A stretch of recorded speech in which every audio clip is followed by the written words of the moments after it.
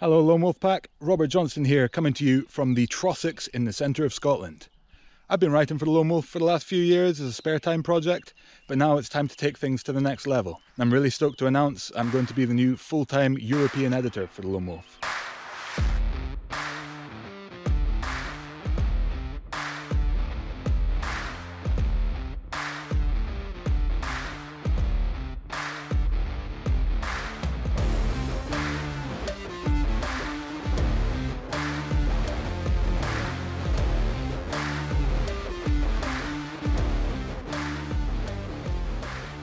I'm really excited to make big things happen on this side of the pond, take Loam Wolf to a wider audience, interact with more brands, more athletes, and tell more awesome stories about the two-wheel machines that we all love so much.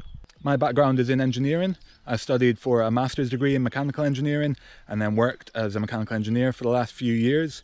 My last uh, role was as a design engineer for a company making ultra high-end sporting equipment. So I've done uh, 3D printed custom time trial handlebars for Tour de France athletes. I've designed a bike for the track events in the Olympics and uh, snowboard binding for a boarder-cross athlete who went on to win a world championship gold medal. Um, I do love music. I listen to a lot of music from super chilled jazz music through to aggressive drum and bass to get me hyped up and everything in between. Uh, I love traveling. Uh, I've got a camper van set up, uh, quite a simple little thing, but I love taking that around Europe, seeing new places, uh, exploring new bike parks, and uh, yeah, but overall, my biggest passion really is just time on two wheels, whether that be crunching miles out in the hills on a mountain bike or a gravel bike, or a little skate park session or dirt jump session. It's all good, and uh, really two wheels are what defines me, which I think is quite useful for this role. So I'm really stoked to have made this happen with the guys in the in the states, and I'm really excited to see what happens going forward.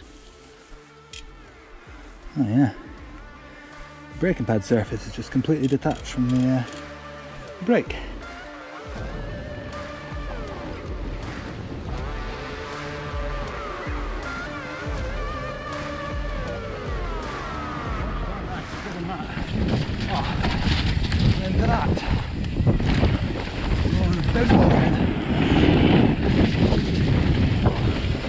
Super scary in the rain.